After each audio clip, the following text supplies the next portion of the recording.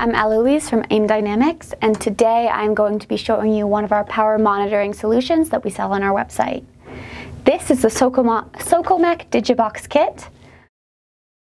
It's one of our higher end options, ranging from like $800 to $1,200. It has a lot of great features that make installation and configuration really easy. As far as accuracy, the meter itself is 0.2 class, and what's really great about this is the entire system is 0.5 class, from 2% to 120% of the CT rating.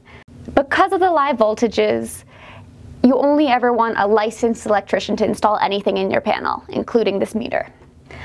Okay, let's get started. So as you can see, we already have our CTs and our Ethernet connected. We set this up a couple days ago.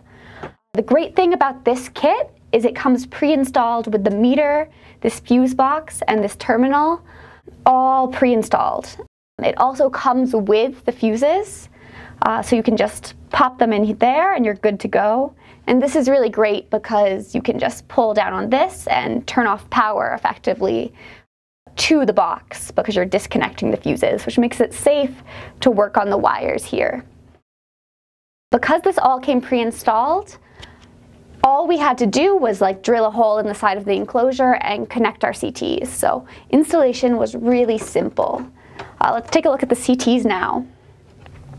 Another really great thing about this kit is instead of the wires that you see more traditionally on CTs, it comes with an RJ12 cable. This makes installation very simple. All you gotta do is uh, connect your CT around your conductor up here and then plug it in. So very simple, it's nice, you don't have to like mess around with trying to get a good connection between the wire and your meter. It really saves you a bit of time.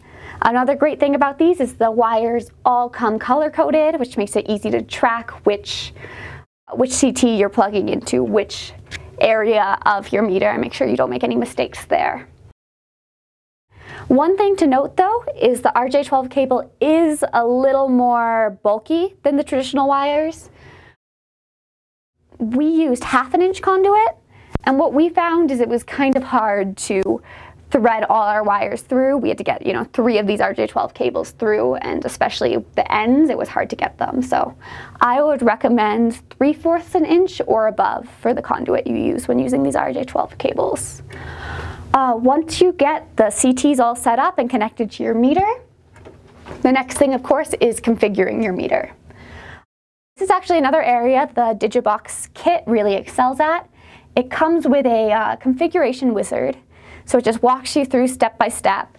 Uh, really easy. It also can sense the CT ratios automatically and configure the parameters that way, which means you don't really have to do that much. Another great thing is, hold on, let's go back to home. The screen is really, you know, it's large, it's easy to read, so you can get readings directly off the meter easily.